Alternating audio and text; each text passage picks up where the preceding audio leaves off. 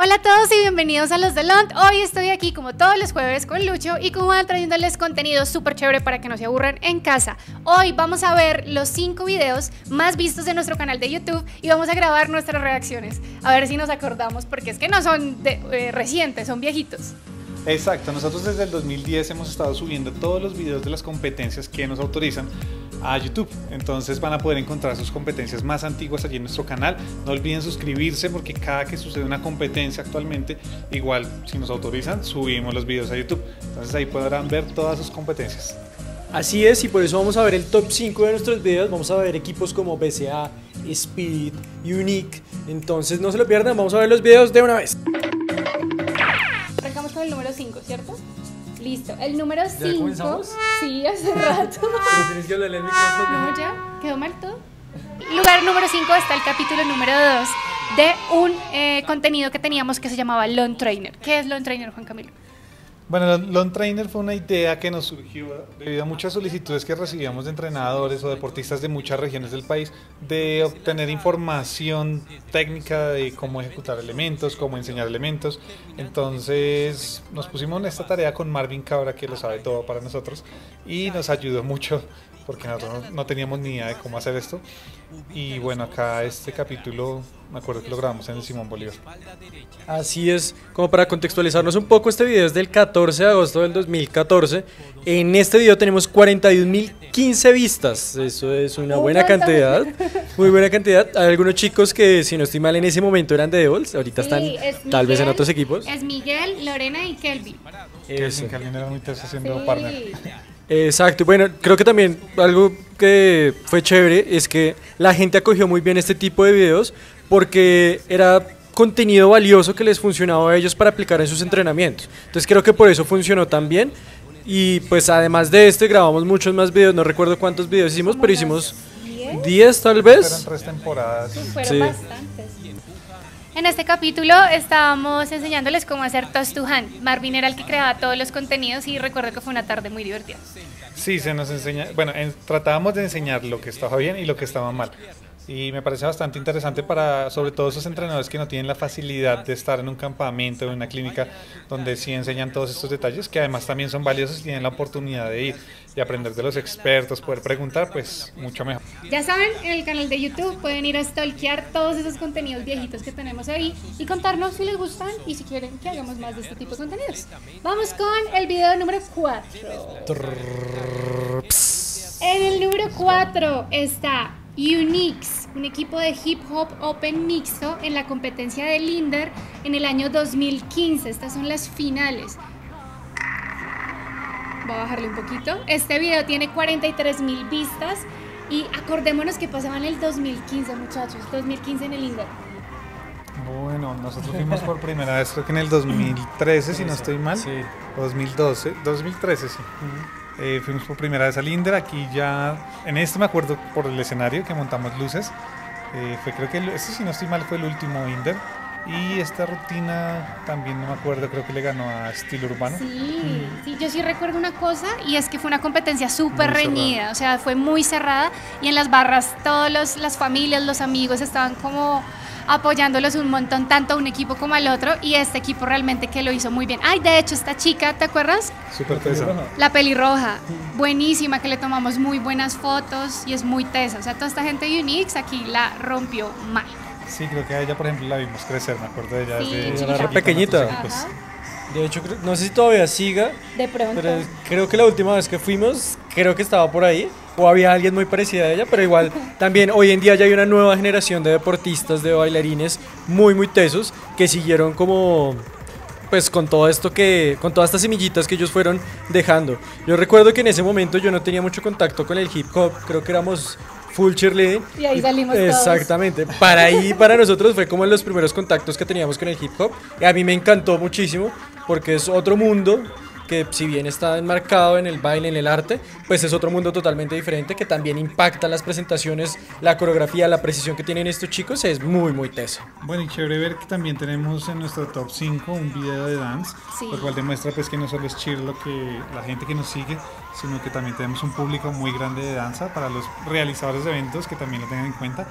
y lo hemos visto especialmente en la ciudad de Medellín y en Bucaramanga, ¿no? Mm, Una fuerte participación en dance. Muy, muy Wow. Muy lindo. Muy buena la presentación. Muy, muy linda esta rutina. Bueno, vamos con el número 3. En el número 3 está Colombian All Stars en la competencia de Linder, pero esto es el año 2011. Ese fue el segundo. Es un video que han visto mucho, mucho, mucho y en esa época la competencia estaba bien reñida porque empezaban a aparecer otros equipos femeninos y no se quedaba solito Colombian, que Colombian siempre, siempre gana, son muy buenas, pero ya empezaban a aparecer otros equipos que se animaban a darles la batalla ahí en, ese, eh, en el nivel 5 Este fue el primer Inder en el que estuvimos. del Yo me acuerdo. 2011. Ok. Y era nuestra primera experiencia ya. Me acuerdo que nos fuimos con Luis, con Banji y con otro amigo. Por ahí hay una foto de cuando éramos chiquitos. Y fue súper guerreado ese viaje, ¿no se acuerdan? En el bus, aguantando frío. Fueron muchas condiciones extremas. Creo que fue la primera vez que nos dimos cuenta el monstruo que es Cinder, porque Sí. en serio era un evento de magnitudes enormes Se cayó un partner. que nosotros no teníamos contemplados y nada, fue como, ok, esto es un evento enorme, o sea, fue genial. Todas esas chicas y ya casi no quedan ¿Alcanzan a ninguna. reconocer Quedan muy poquitas. Creo Creo que la que que está en la punta es Ana María, sí. Saludos, Ana María. Pues de hecho hay algunas de esas chiquitas que todavía siguen y están en el grupo Oriana élite. Sí, la mayoría de todas ellas ya no están en Colombia. Bueno, es que si ya fue el año 2011, ya han Hace pasado 10 años. Una década llevamos. ya. una década, Dios qué mío, fuerte. Dios mío. Yo recuerdo que hasta dormíamos debajo de la mesa de juez. sí, confidencias, confidencias. Nos tocaba ya tomar relevos y descansar debajo de la Debajo tarima. de la mesa de los de jueves. la tarima. Ahí nos hacíamos. Es que eran jornadas demasiado extensas, demasiados equipos, tres días dándole era, y pues nosotros apenas estábamos iniciando, no teníamos la resistencia que posteriormente con la experiencia fuimos Adquirimos. desarrollando. sí. De hecho, nos tocaba sentarnos en Ah, el está piso. súper chévere esa Era. Me doloroso. acuerdo que ya estábamos muertos de tomar fotos sentados desde el piso. Está bueno, está bueno ahí, ahí viene la parte de la pirámide. No, el baile. Colombian siempre saca el baile, unos muy bueno. cierres absurdos. Y ahí viene. Sí, creo que algo por lo que siempre se ha caracterizado es por la parte de coreografía de Wow, baile. sí. Son muy tesas. Ahí y no solo está. eso, le imprimen una energía enorme. Ahí lo estamos viendo, está muy, muy Claro, tesas. yo creo que por eso lo repiten tanto. En realidad fue un gran esquema, este esquema de Colombian del 2011. Tino. Súper buena la presentación y vamos con nuestro número 2 en este top 5 de presentaciones. Ok, en el número 2 les traigo el BCA Elite Bogotá Chira Athletics en la final del Festival de Porras del año 2012. Eso fue del IDRD acá en Bogotá. Ajá. Tiene nada más y nada menos que 81.867 visualizaciones. Eso es un montón. Algo pasaba en el porrismo en ese momento, pero el hecho de que BCA ganara en esta competencia fue inolvidable. Creo que tanto para el equipo como para todos los que estábamos. Sí, en ese momento, yo no sé si ya está, ya existía Diablos, ¿cómo es que se llama? Dynasty. Dynasty, Dynasty. ajá. Yo no sé si ya le habían cambiado el nombre, pero antes era Diablos Elite. Y durante muchos años Diablos había mantenido la primera posición en la mayoría de competencias. BCA siempre había estado ahí de segundas, muy Peleándola, cerquita, peleando esa, esa posición. Y este fue el año, esta fue la rutina, hasta donde mi conocimiento me da mis recuerdos, Sí, yo en también. el que eso cambió y por primera vez, o bueno, en este evento, en la final de este evento, BCA le gana a Diablos Elite y de ahí en adelante BCA empieza a tener como normalmente la primera posición en la mayoría de competencias hasta el momento. Bueno, si nos están fallando los recuerdos, igual en los comentarios nos pueden decir, oigan, no, brutos, eso no fue en el 2012, fue en el 2011. Chismeemos ahí en los comentarios, por favor, y nos complementan. Pero según nosotros, esta fue la competencia en la que BCA ganó. Yo me acuerdo mucho de la emoción de Milton en ese momento. Sí. Salto y todo. Y ahorita lo vamos a ver, porque al final, al final, al final creo que Milton está muy feliz. No sé si ahí estaba el Taekino. O quiénes estaban Claro, ahí. ahí Sí, están Si no alcanzó a ver. Yo ya a vi Halker, a, a Halker, sí. A Lady a veces está en la punta. está Cherokee. Chero. Es que tenían un combo bravo, o sea, eran Lindsay, muy ¿es que tesos. se llama ella? Sí, Ella todavía sigue, si no estoy mal en BCA. aquí está Wendy. Diana. Está Dani Acero, este, Kevin. Kevin. eh, el que fue Infinity Legends, se me va el apellido. Ah, Kevin, ¿qué? Diego. Kevin. Kevin. Manolo Sarmiento, no. No, ese es No. uno que se parece Se mucho a parece él. pero resto, no. ¿cómo se llama? No me acuerdo el nombre, No me pero nombre. es alguien que ya pues es un poco más grande que Pero. Manolo también estuvo en BCA, o está en BCA. Eh, creo no que sé, está o estuvo- está sí. No sé, la última vez que lo vi fue en Worlds. A ver No, si mentiras, está creo que sí está en 19 BCA. Estaba en BCA. Creo que Actualmente todavía sigue ahí. no sabemos. ¿Quién viene ahí? ¿Chero? ¿O Tequino? No. No, él es Sí, creo que es Dani, Dani. ese es Dani. Sí, que Dani hacía unas tiras de gimnasia Sí. muy, muy tesas sí, y muy sí, limpias sí. sobre todo. Sí. O sea, siempre eran Y muy es algo que limpias. caracteriza a sus lanzamientos, equipos. Me acuerdo de esa foto del lanzamiento. Los, los, los lanzamientos de BCA siempre son 10 de 10. Y la acrobacia. Ah, creo que Ellos casi ellos siempre se cierran con La acrobacia. acrobacia. Creo que si no estoy mal fue este el año en el que hicieron eso de cerrar. con Que le salió, porque creo que Ajá. anteriormente Ah. no le ¿Se salía. En las anteriores competencias no la habían logrado conectar. Ajá. Y en esta creo que Bueno, lo vamos a ver si sí es, porque si es el video con más vistas, Sí. pues de los que tiene más vistas, seguro sí Me salió. acuerdo que el momento épico era haber logrado, porque me acuerdo que esa fotografía también tuvo mucho, Mucho alcance. impacto porque fue la primera vez que lograron Ahí va, conectar. esa subida es Pues muy Vamos buena a ver si sí, que se suba, que suba, que suba, que suba. que suba. Sí. Pero ahí todavía no se acaba. No, no, no, Uno pero, siempre aprieta un pero la montón en esa coronaron. Ahí, esta chica, pobrecita, Sí. tiene todo el mundo encima. Sí, la lograron y por eso ganaron. Seguramente. No ese no fue el video. No, es, es otro. Es otro. En el salitre. Ah. Esa fue la competencia en el ¿Ese no es el salitre. salitre? No, no, no. No. Este es el centro de alto rendimiento. Es el, Este es el Palacio de los Deportes. Exacto. No, el- Hay otro en el que celebran ese que fue el salitre, Este que es- están las cuatro torres de luces que parece como un ring de boxeo. Sí. El olviden salto todo lo que dijimos. Olviden todo el chisme que acabamos de decir. El chisme corresponde a ese video que Luis, gracias a Dios. En el lugar número uno de los videos más vistos de del visualizaciones. canal de YouTube de LON, tenemos a Spirit Elite en el final del Festival de Porras y DRE año 2012. 222.316 vistas del 29 de octubre del 2012. Eso Nosotros es un tenemos un chisme de eso que creemos, no sabemos. Ustedes comenten si sí es real o no. Creo, creo Se que los contaremos en el siguiente capítulo.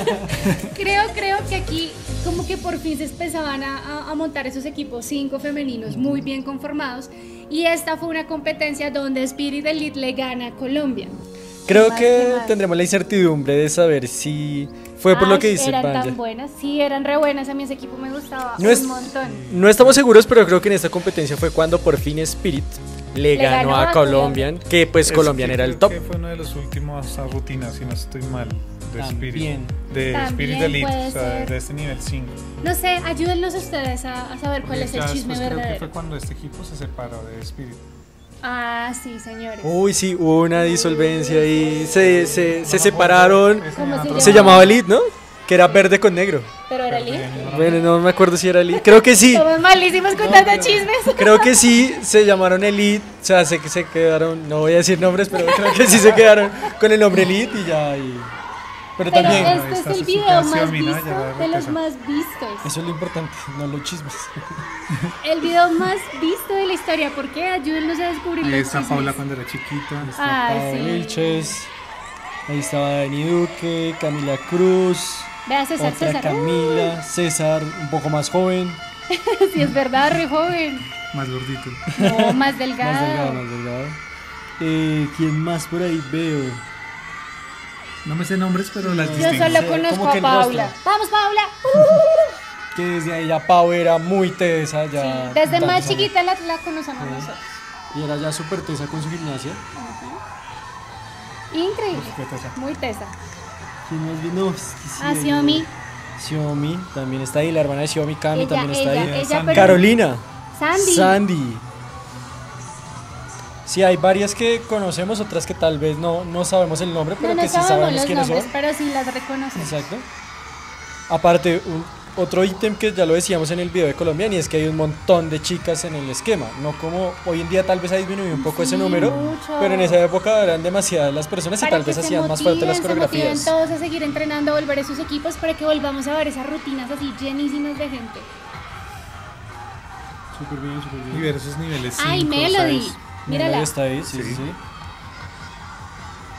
No, hay varios ahí que, que estoy seguro que no sabemos los nombres, pero no cayó. nos acordamos. Se cayó un par. Tal vez este no sea el video Tal en el cual nuestro Spirit le chisme ganó no a Colombia. O tal vez Colombia también se cayó. Es que no recuerdo. O tal vez Por Colombia alguna no razón este participó. tiene más Pero visualizaciones que todos. sí, De pronto sí es lo que tú decías, de que fue la última rutina de Spirit. Creo.